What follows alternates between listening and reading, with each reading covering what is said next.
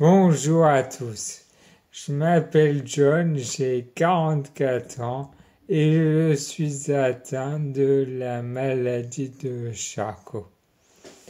Alors pourquoi j'ai décidé de créer ce site web? C'est pour trois raisons principales. C'est faire connaître cette maladie. C'est également faire avancer la recherche sur cette maladie et enfin de vous partager euh, les clés qui me permettent d'avancer quotidiennement car si ça peut vous servir aussi, ce sera un grand bonheur pour moi. Alors, en quelques mots, la maladie de Charcot, c'est quoi?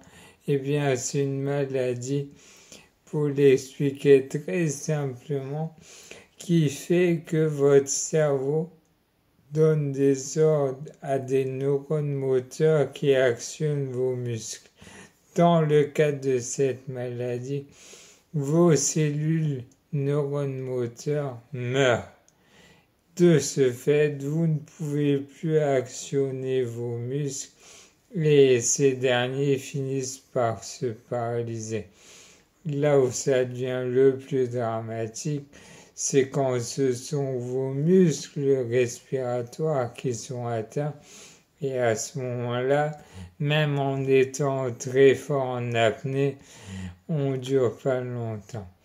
L'espérance de vie moyenne, elle est rapide, ça en fait une des maladies les plus cruelles, puisqu'elle est de 3 ans. Alors, comment est-ce qu'on l'attrape? Attention, extrêmement contagieux. Non, je plaisante bien sûr. Non, on ne sait pas comment elle se déclenche dans le corps. On ne sait pas pourquoi ces, ces neurones moteurs meurent. Et donc, on ne sait pas la soigner aujourd'hui. C'est bien là un des drame de cette maladie qui existe depuis plus de 160 ans. Alors, qui est touché? En général, elle se déclenche aux alentours de 55-60 ans. Mais il y a des prématurés comme moi à 44 ans et aussi parfois des plus jeunes, même à 20 ans, ça peut arriver.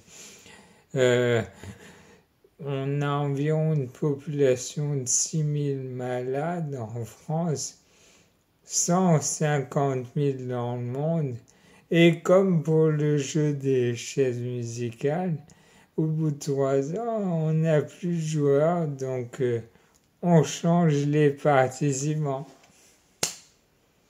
Alors, quels sont mes symptômes?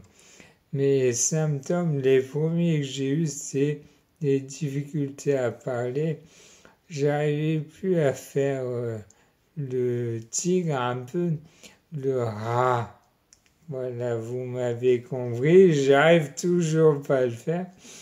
Ensuite, j'ai eu des problèmes euh, de fausses routes à avaler, puis des faiblesses musculaires dans les mains et enfin des tremblements musculaires, ce qui m'a amené à consulter un neurologue, à faire tout un tas d'examens qui ont abouti à un diagnostic de maladie Charcot.